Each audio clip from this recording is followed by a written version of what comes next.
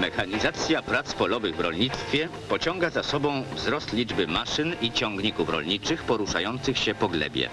Sprawność i wydajność pracy ciągników w znacznym stopniu zależy od warunków współpracy mechanizmów jezdnych z glebą. Dlatego ocena sprawności trakcyjnej wymaga prowadzenia badań współpracy tych mechanizmów z podłożem.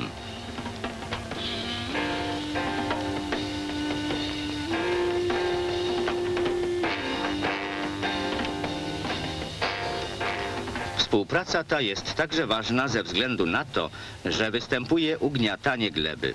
W większości przypadków wpływa ono na zmniejszenie plonów roślin uprawnych. W kolejnach kół ciągnika rozwój roślin jest znacznie gorszy niż na pozostałej powierzchni pola.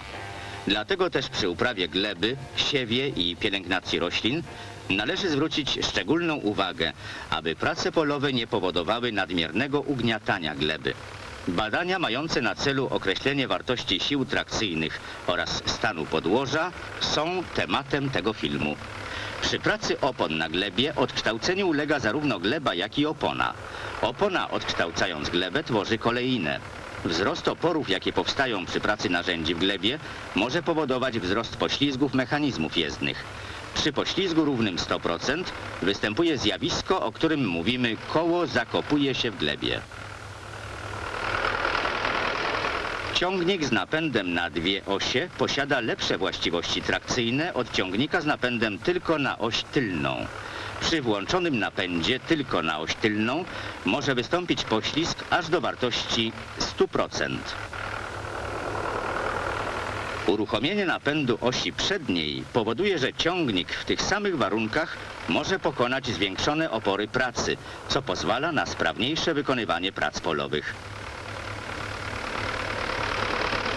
Koło napędowe ciągnika na skutek działania momentu napędowego M porusza się z prędkością V. Siła napędowa służy do pokonania oporu toczenia R i pozwala na uzyskanie użytecznej siły uciągu PU.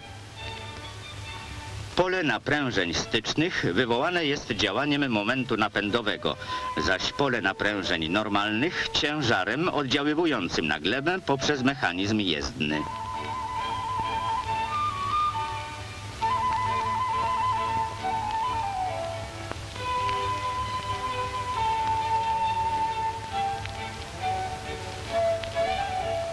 Podobne zjawiska równowagi sił trakcyjnych występują przy współpracy gąsienicowych mechanizmów jezdnych z podłożem.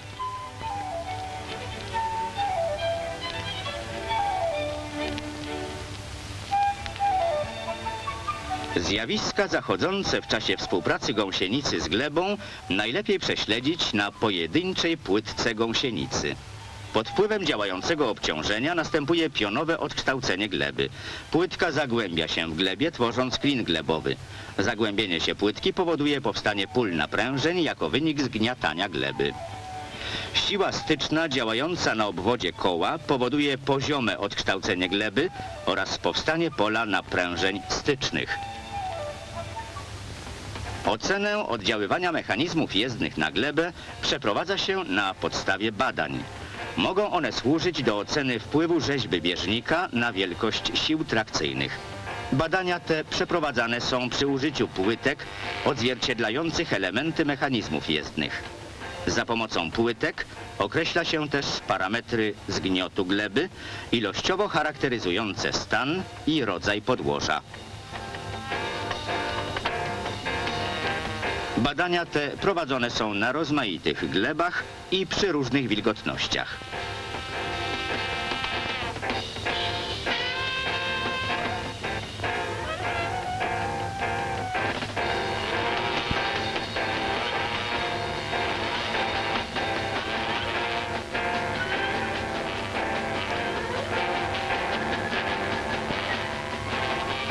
Zapis wielkości siły zgniatania prowadzi się za pomocą rejestratora dwóch zmiennych, który wykreśla siłę zgniatania w funkcji pionowego odkształcenia gleby.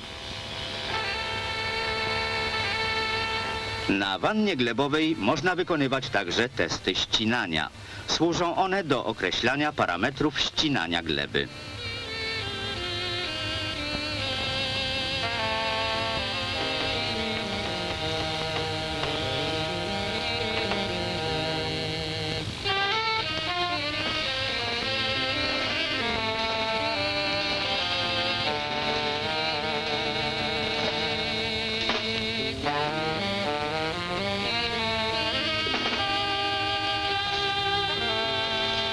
Badania przeprowadzane są na różnych rodzajach gleby i przy różnych jej wilgotnościach.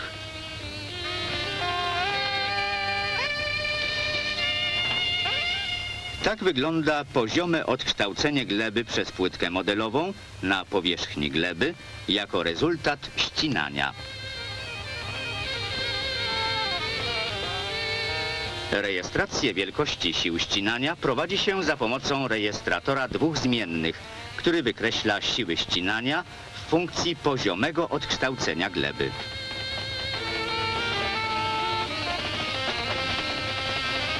Badania wykonane w IBMER za pomocą płytek pokrytych gumą, a w następnym etapie za pomocą opon z nawulkanizowanymi występami bieżnika posłużyły do opracowania nowej rzeźby bieżnika.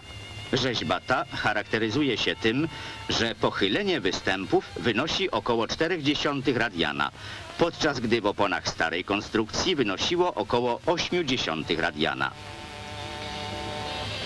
Skonstruowane w IBMER urządzenie TRAK służy do badań opon w kanale glebowym wypełnionym glebą naturalną. Przed każdym pomiarem gleba jest frezowana i wałowana w celu uzyskania identycznych warunków glebowych. Stan gleby przed pomiarem sprawdzany jest za pomocą testu zgniatania.